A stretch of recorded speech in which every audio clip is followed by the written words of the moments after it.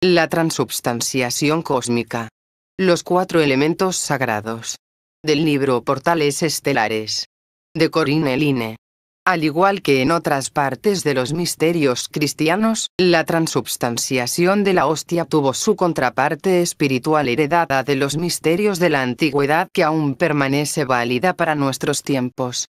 De acuerdo con las enseñanzas de la Iglesia Católica, la hostia, o sagrada oblea de la misa, es transformada milagrosamente en la carne de Cristo y el vino de la misa es transmutado también milagrosamente en su propia sangre. Aunque los fieles seguidores de esta enseñanza no esperan ver la oblea volverse carne y el vino sangre, ellos sostienen que, a pesar de toda apariencia contraria, esta transformación o, más exacto, transubstanciación, ocurre literalmente, en esencia, aunque no en forma. El esotérico ve más allá de este concepto los vestigios de la doctrina de la transubstanciación cósmica por medio de la cual el arcángel Cristo desciende como luz dentro de la tierra y gradualmente transmuta su substancia en éter. Este proceso significa la igual y continua transmutación de todo lo que vive y crece sobre el planeta, hasta su estructura atómica. De esta manera todos los frutos de la tierra son en verdad la carne y la sangre de Cristo, y en muy especial sentido el cuerpo del iniciado es transubstanciado en esta luz de Cristo de modo que, literalmente este es representativo de aquel.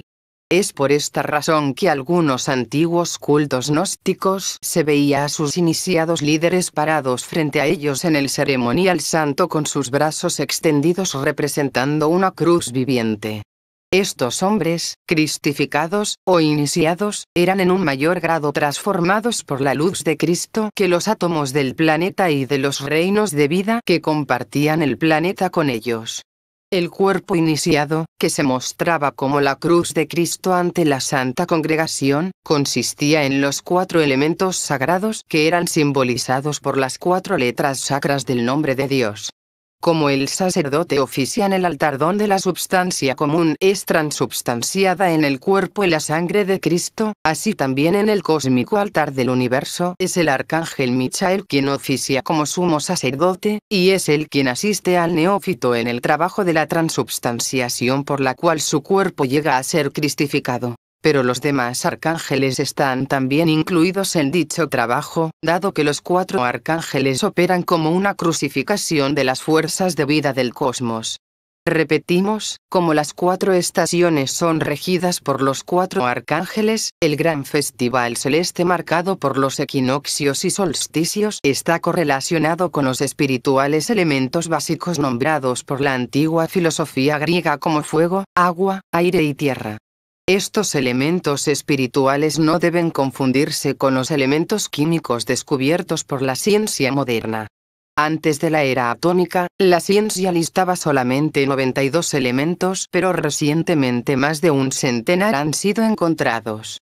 Estos elementos, no obstante, son materiales, no espirituales, mientras que los cuatro elementos de la antigüedad eran, por así decirlo, la raíz de todos los elementos físicos, las cuatro corrientes de éter de las cuales la substancia raíz emanó en el amanecer de nuestro período terrestre.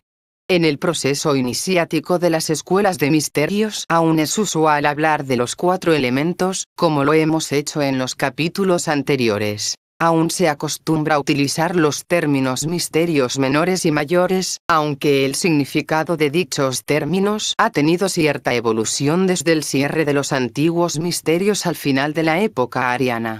Durante los cuatro días de intervalo que marcan la culminación de cada una de las cuatro estaciones, en la época de los equinoccios y los solsticios, las corrientes de deseo de la Tierra son destiladas y las fuerzas espirituales toman preponderancia. Es esta condición la que hace del Festival Planetario una época favorable por encima de cualquier otra para contactar con los planos elevados de la naturaleza y para entrar al templo de los misterios. En dicho templo, que es en un más amplio sentido la propia tierra cuando es percibida por los órganos espirituales, como la leyenda de Eleusis también sugiere, el candidato aprende que las cuatro grandes iniciaciones tienen su correspondencia con los cuatro elementos sagrados y con las cuatro santas estaciones, y además con los cuatro arcángeles que gobiernan las cuatro estaciones. En la época del solsticio de invierno, bajo la égida de Gabriel y sus huestes de arcángeles y ángeles, el discípulo merecedor es iniciado en los misterios del ceremonial de la tierra, pues los cuatro vehículos en los cuales el hombre encarna están relacionados con los cuatro sacros elementos. Durante la estación del solsticio invernal el trabajo del neófito está relacionado con la purificación del cuerpo físico, mientras que por la misma fecha el trabajo del discípulo está dirigido hacia la transmutación por medio de la alquimia básica que crea la maleable piedra blanca del adecto, el cuerpo inmortal. Este trabajo, sea el de la purificación en el caso del neófito, o de la transmutación en el del discípulo, no se completa en una estación o en el tiempo de una vida. Pero hasta el grado que dicho trabajo sea hecho determina su capacidad para tomar parte en el ceremonial de la tierra de la estación del solsticio invernal. El equinoccio de primavera se correlaciona con la iniciación de fuego, bajo la guía del arcángel Rafael y su hoste de ministros, y el trabajo a realizar se relaciona con la purificación del cuerpo de deseos y su transmutación en alma. El solsticio de verano es referido a la iniciación por agua, bajo la dirección del arcángel Uriel, y sus ángeles, y el trabajo a realizar por ellos se relaciona con la espiritualización y sensitivación del cuerpo vital, y de su transformación en poder anímico. El equinoccio de otoño se asocia con el elemento aire y su trabajo está bajo la dirección del glorioso Michael y sus huestes y está relacionado, como dijera San Pablo, con la renovación de la mente.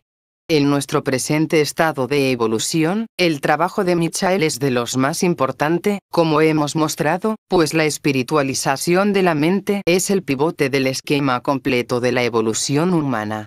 Es, quizá, por dicha razón que el eminente científico espiritual moderno, Rudolf Steiner, dio a Michael el lugar más importante que diera a otros arcángeles al cual describe como ayudando a la evolución de la humanidad.